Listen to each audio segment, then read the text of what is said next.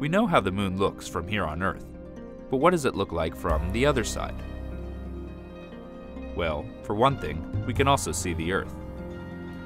The spinning Earth looms large in this time lapse telescopic view, made possible by computer graphics. We're looking along the imaginary line connecting the Earth and the Moon.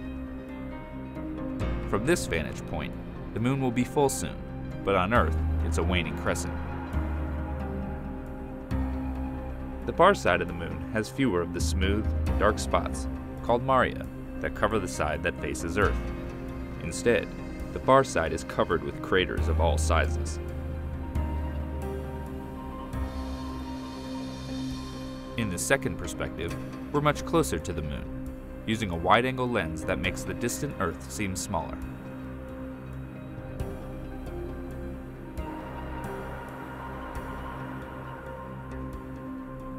With our view fixed on the Moon, the rest of the solar system seems to dance and whirl around us.